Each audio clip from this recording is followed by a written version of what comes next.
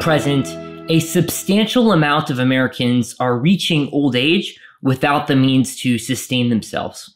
According to recent data from the OECD, 23.1% of seniors live in poverty. This is the highest elderly poverty rate of any of the G7 countries. One of the proposed remedies to this crisis is for seniors to work for later into their lives. In principle, this would delay their need to withdraw from Social Security, leaving them with a larger fund to draw from when they do finally retire.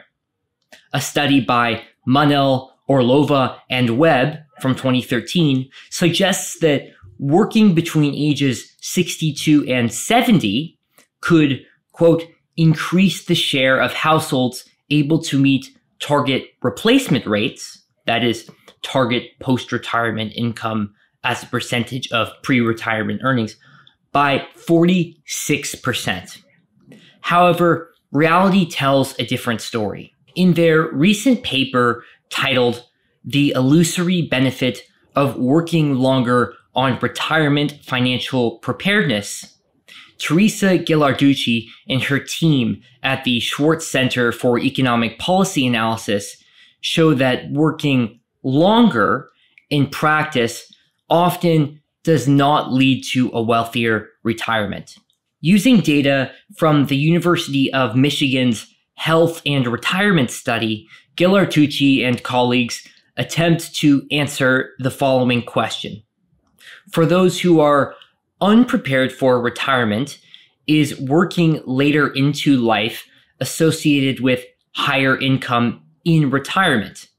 Surprisingly, the answer is no those who are unprepared for retirement and work past the age of 62 often choose to claim Social Security as a supplement to their wage income.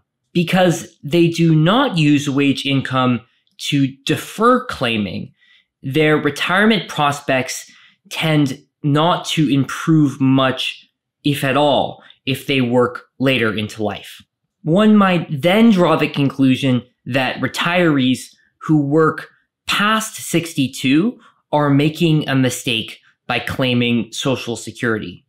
With proper education in financial literacy, one might argue, these retirees would stop acting irrationally. They would delay their claims and retire wealthier.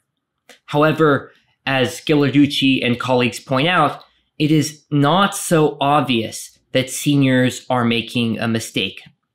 The data indicate that those who reach 62 and are not prepared for retirement are just scraping by.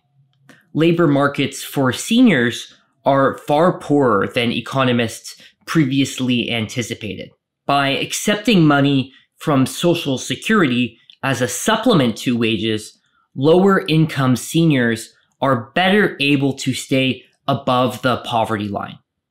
The fact that they do not defer claims until 70 is not a reflection of their irrationality.